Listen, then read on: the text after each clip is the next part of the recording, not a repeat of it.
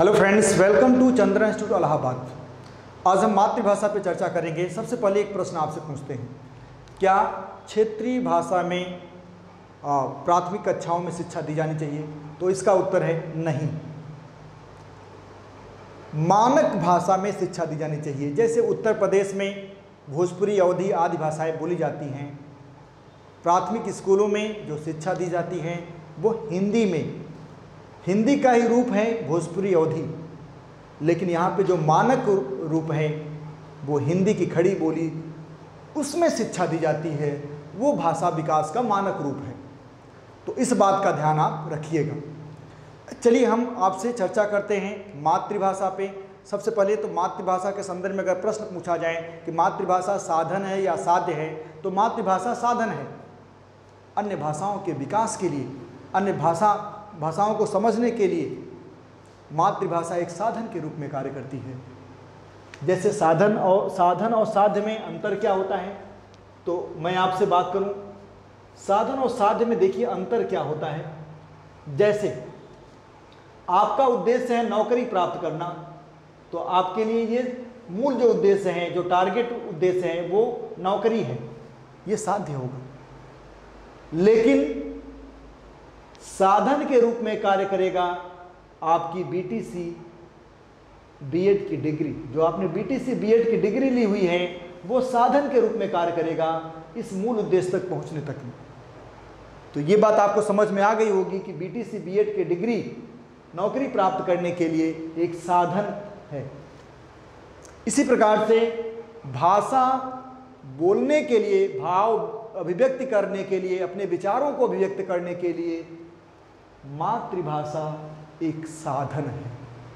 मातृभाषा एक साधन के रूप में कार्य करेगा। तो मातृभाषा क्या है? इस बात से ये सिद्ध हुआ कि मातृभाषा एक्चुअल में क्या है? साधन के रूप में कार्य करती है। अब देखिए, हम अगर मातृभाषा की बात कर रहे हैं तो अगर प्रश्न आपसे ये पूछ लिया जाए कि एक अध्यापक को मातृभाषा को किस रूप में देखना चाहिए तो एक अध्यापक को मातृभाषा का सम्मान करना चाहिए। क्योंकि मातृभाषा के सहारे ही वह छात्र के भाव अभिव्यक्ति मनोवृत्ति को समझने में सक्षम हो पाएगा और अन्य भाषाओं को, उसको एक माध्यम बनाते हुए अन्य भाषाओं को बता पाएगा।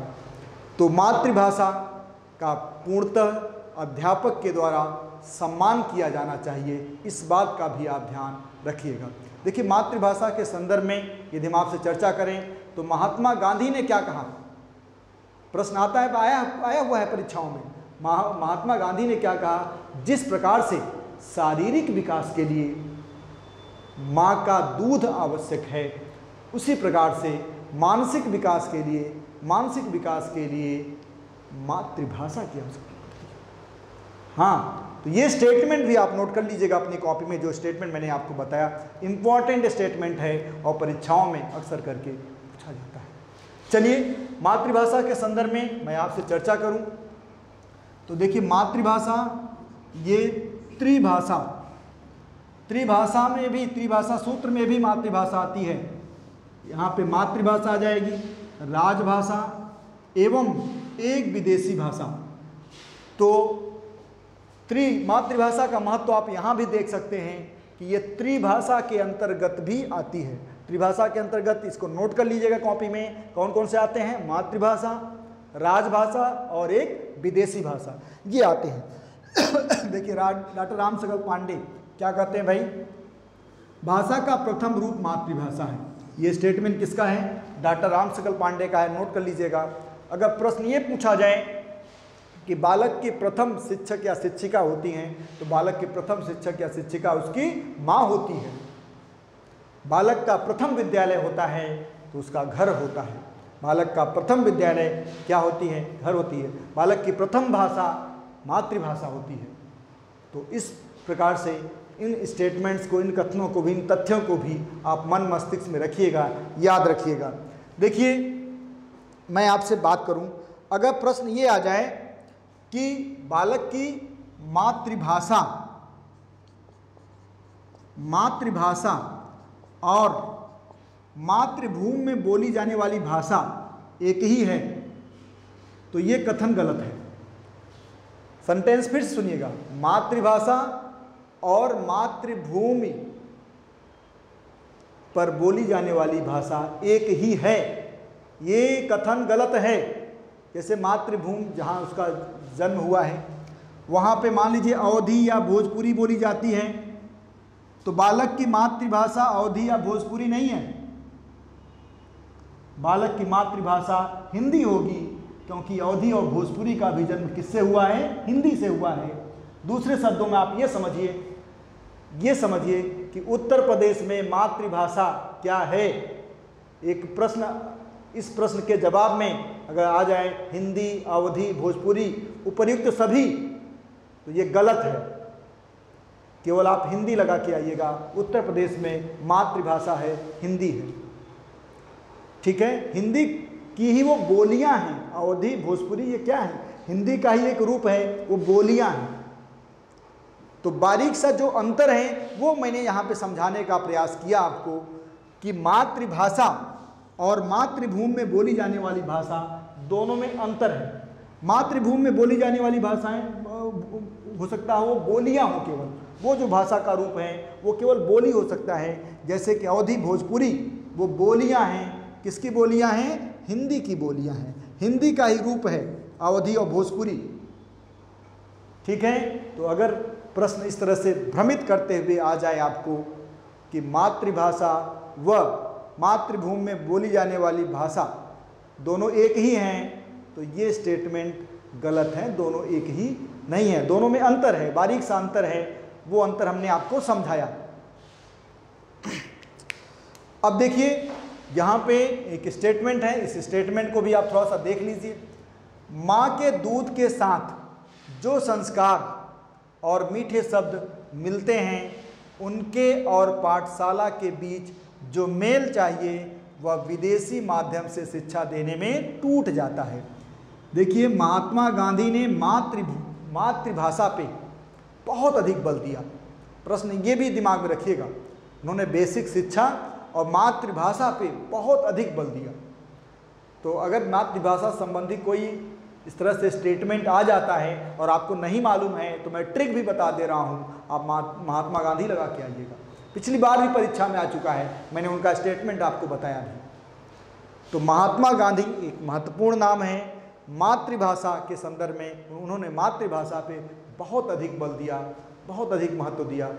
और उनका स्टेटमेंट आप यहाँ भी देख सकते हैं, माँ के दूध के साथ, है ना, ये मातृभाषा की बात की जा रही है, जो संस्कार और मीठे शब्द मिलते हैं, उनके और पाठशाला के बीच जो मेल चाहिए हाँ पाठशाला के बीच जो मेल चाहिए, वो किसी? विदेशी माध्यम से, अगर सीधे विदेशी माध्यम का प्रयोग करिए तो वो क्या हो जाएगा? वो भाव, वो संबंध, वो भाव विचार वो अभिव्यक्ति आप नहीं दे पाएँगे, नहीं कर पाएँगे। तो ये बातें आपको समझना चाहिए। मान लीजिए किसी कक्षा में बहुभाषिक, मानी कई मातृभाषाओं का, ऐसे बालक हैं कि कोई बालक, किसी बालक की मातृभाषा कुछ है, किसी बालक की कुछ है अलग अलग मातृभाषा है, ऐसी स्थितियों में अध्यापक को क्या करना चाहिए? तो ऐसी स्थितियों में अध्यापक को विभिन्न भाषा, शिक्षण सूत्रों का प्रयोग करते हुए ऐसी स्थितियों में अध्यापक को सहायक सामग्रियों का प्रयोग करते हुए एक्स्ट्रा करिकुलम एक्टिविटीज़ का प्रयोग करते हुए ऐसी स्थितियों में अध्यापक को शिक्षण विधियों का, शिक्षण सिद्धांतों का प्रयोग करते हुए कुशलतापूर्वक, ये ये अध्यापक की कुशलता पर निर्भर करता है। कुशलतापूर्वक छात्र के भाषा का विकास करना चाहिए। इस प्रकार से आप, यानी ऐसी स्थिति में अध्यापक को मातृभाषा का प्रयोग एक हथियार के रूप में करना चाहिए, एक हथियार के रूप में करना चाहिए।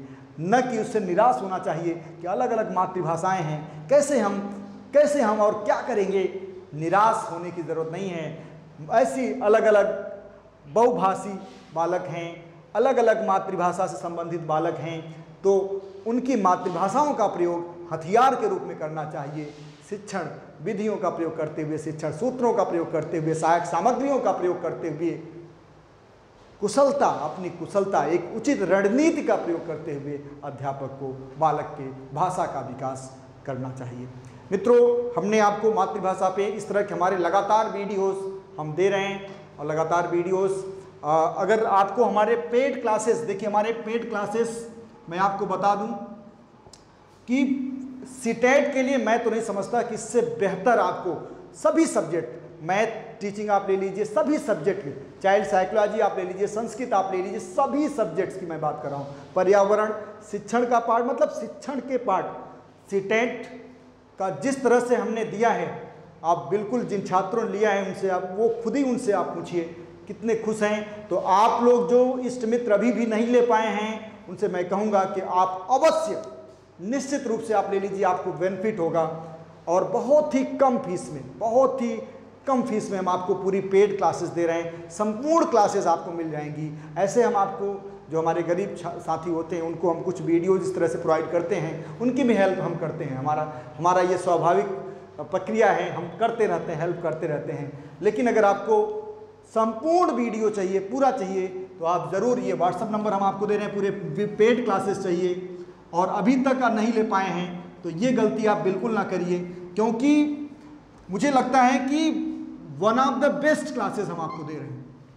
मैं, अब किन शब्दों में आप प्रयोग करूँ? आपको वन ऑफ़ द बेस्ट मैंने दो तीन बार ये वर्ड यूज़ किया, बिल्कुल आपका मन खुश हो जाएगा। ये व्हाट्सअप नंबर आप note nine three zero five zero seven seven five six nine.